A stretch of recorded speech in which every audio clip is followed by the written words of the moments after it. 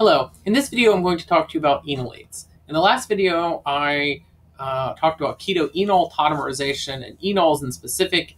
Enols are tautomers of, of carbonyl compounds that are interconverting or in equilibrium with the carbonyl version, and that that equilibrium can happen in either acid or base.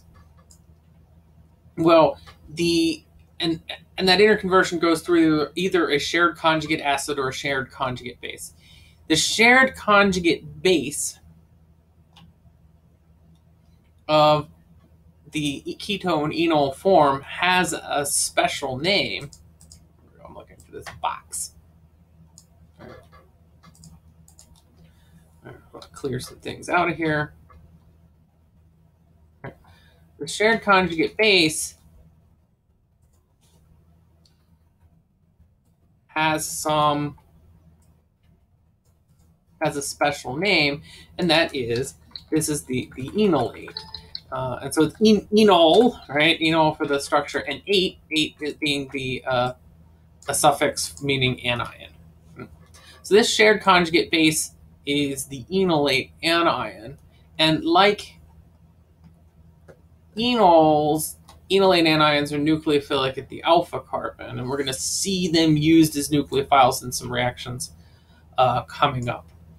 Though in this video, I'm going to talk about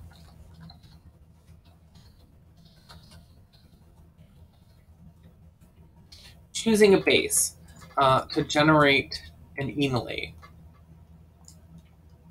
Since I'm talking about acetone, and if I wanted to generate the enolate of anion of acetone, and it's worth noting that the enolate is often represented in this resonance form and not in uh, another, not in the the other resonance form, the carbanion resonance form. Uh, if, we, if we really want to generate a lot of this enolate, we need to know some some acid base chemistry. And so, for example, the pKa of acetone is 19.2. So we can use that information to choose a base or to make some intelligent decisions about a base. Right? So if we wanted to use sodium hydroxide and water, we should actually expect that this equilibrium will favor the ketone form by a fair amount because the pKa of water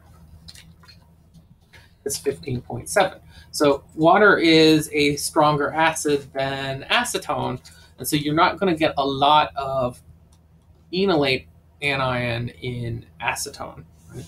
But you're going to get some, or in, in sodium hydroxide solution of water. You're going to get some, uh, and that might be good enough for, for some applications. However, if you wanted to get almost complete and total conversion, you need to use a base that is much stronger. And so uh, let me tell you about some that folks tend to use. Here's hydride, right? So hydride is available as not not water goodness no. Hydride is available in forms like sodium hydride, and the conjugate acid of hydride is hydrogen gas.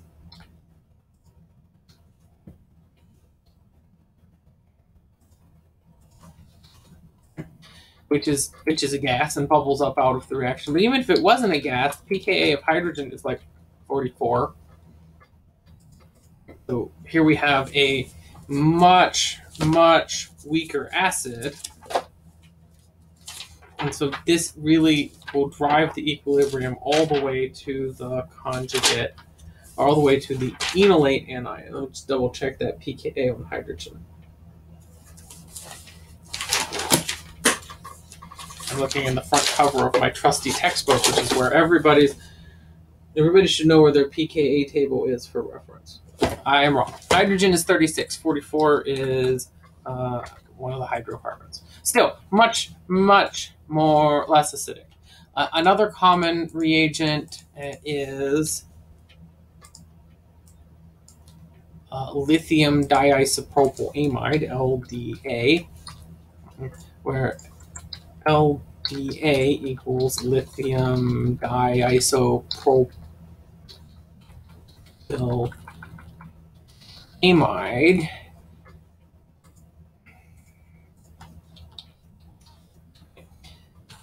And that looks like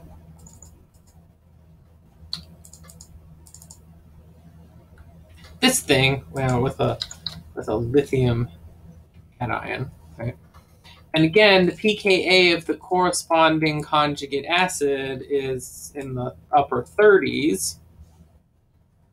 Um, pKa of ammonia is 38, so the pKa of this thing is higher than 38. Uh, and so again, we have a, a fairly strong base. It's going to generate the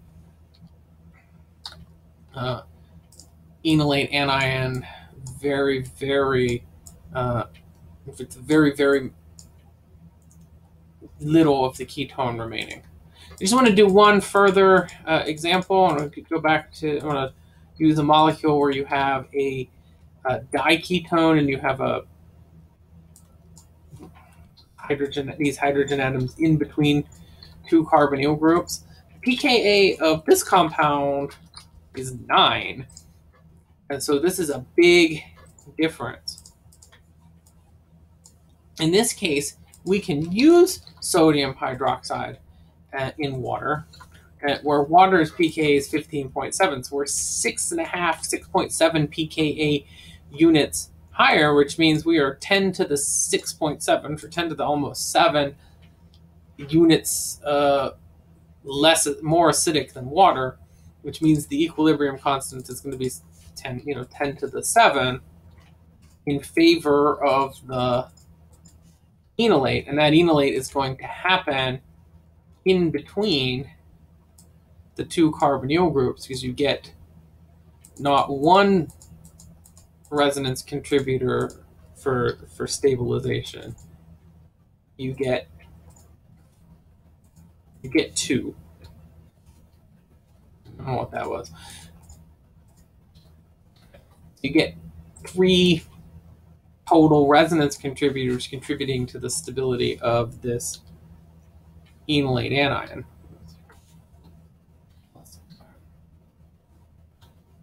Oxygen plus. There we go. Right. So in this position is much much more acidic, uh, and therefore you can use a weaker base to deprotonate it. In the next video, we're going to talk about enolate ions on non-symmetric ketones. Uh, and how you might choose a, base to, to favor one side over the other.